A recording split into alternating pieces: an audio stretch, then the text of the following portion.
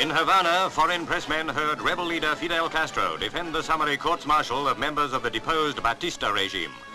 He said 400 would face firing squads. Relatives of 700 awaiting trial wait in long queues, each prisoner wondering every hour whether he will escape the revolution quick justice.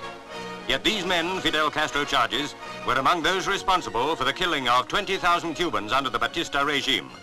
In the Sports Palace, 17,000 people in carnival atmosphere watched the revolutionary tribunal of three men conducting Havana's first war crimes hearing.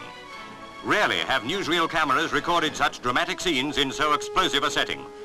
Major Sosa Blanco, 51, was accused of murder, torture, robbery. Reports written by correspondents rivaled fiction. One wrote, I am in the Roman Colosseum. Major Blanco protested that he was not a murderer but a soldier carrying out wartime orders. Among numerous witnesses against Blanco was a 12-year-old boy, Angelio Estrada. Above the shrieks of the gallery, the loudspeakers carried the testimony. Even before it was fully heard, the crowd shouted, kill him. This was justice in Cuba, revolution style. Apparently, Blanco remained calm as the youngster pointed a finger at him and cried, he killed my father. It's almost needless to say the prisoner was found guilty and sentenced to death.